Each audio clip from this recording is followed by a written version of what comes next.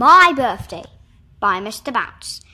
I was up and about in about in the morning, and after I went to check my calendar, today was my birthday.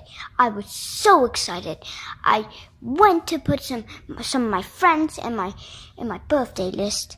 I got my notepad and I wrote the title Birthday People List. Then I wrote everybody I want to see Mr. Small, Mr. Tall, and Mr. Greedy, Mr. Happy, and Mr. Cheeky, and all the other people that I was friends with.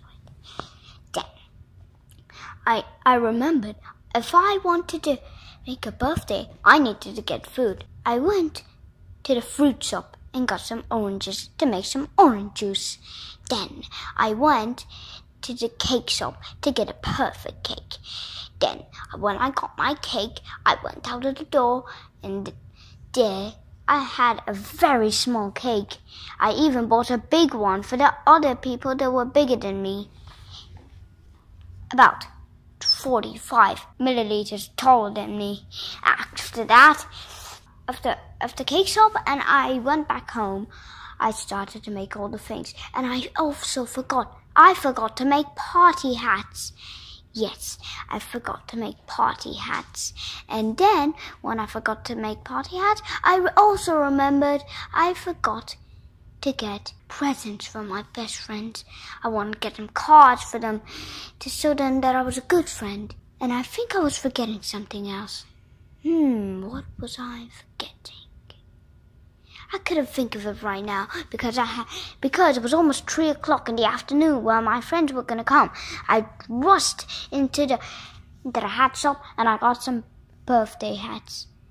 After that, I went back home and I and I got them ready. I got everything ready, neat and tidy. And I also went to the card shop and I got a birthday and I got a friend card. On the card, it said, You are my best friend ever and then it said to write my name. And I wrote my name on every card, and then I went back home. After that, everything was ready.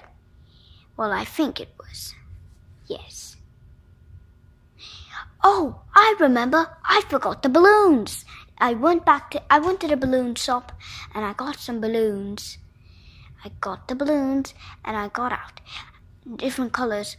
The Mr. Happy's one was yellow, so I was happy.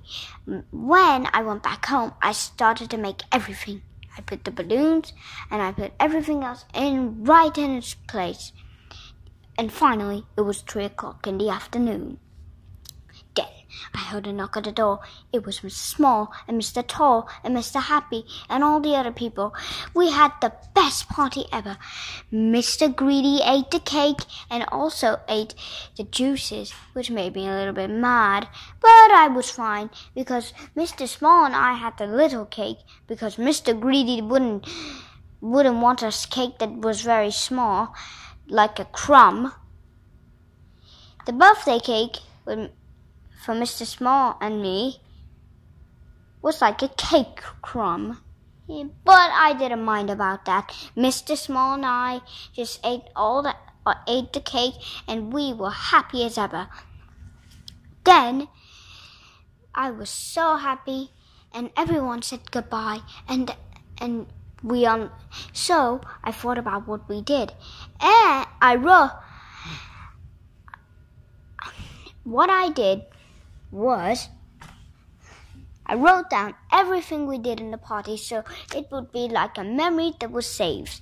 I was waiting there and I also checked the list.